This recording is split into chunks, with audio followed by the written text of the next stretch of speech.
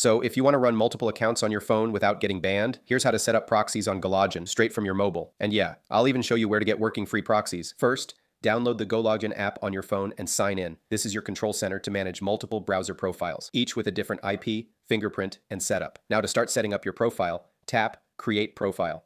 Give it a name like Instabot 1 inch or any name you want, it doesn't matter.